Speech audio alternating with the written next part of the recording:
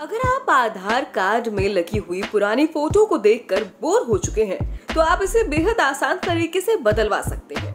आपको बता दें कि आज के समय में आधार कार्ड सरकारी सुविधाओं का लाभ उठाने के लिए एक बेहद ही ज़रूरी डॉक्यूमेंट हो गया है।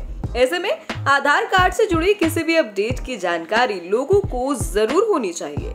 दरअसल, आधार कार्ड की ज़रूरत सरकारी से लेकर निजी संस्थानों में भी पड़ती है। कई बार देखने में आया है कि लोग आधार कार्ड में लगी हुई अपनी फ़ोटो को देखकर नाखुश होते हैं और कई बार तो उसको लेकर उनका मज़ाक भी बन जाता है। ऐसी स्थिति में अगर आप आधार कार्ड में अपनी फ़ोटो को बदलवाना चाहते हैं तो आप बेहद आसान तरीके से इसे कर सकते हैं। भारतीय विशिष्ट पहचान प्राधिकरण यानी यू आधार कार्ड होल्डर्स को फ़ोटो को अपडेट करने के लिए अनुमति देता है।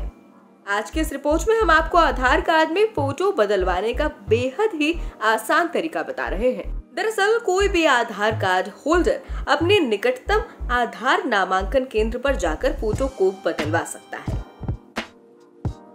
आधार कार्ड होल्डर को सबसे पहले UIDAI की वेबसाइट इन पर लॉगिन करना होगा। इस प्रक्रिया के बाद कार्ड होल्डर को आधार नामांकन फॉर्म डाउनलोड करना होगा और अपने पास के आधार नामांकन केंद्र पर इस आधार नामांकन फॉर्म को भरकर जमा करना होगा। नामांकन केंद्र पर मौजूदा कर्मचारी आधार कार्ड होल्डर की बायोमेट्रिक जानकारी के साथ फ़ोटो लेगा।